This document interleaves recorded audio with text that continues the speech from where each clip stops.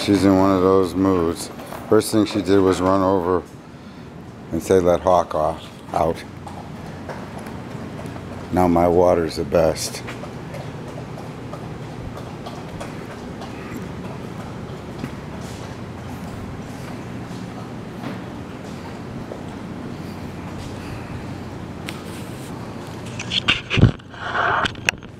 There's that crazy girl.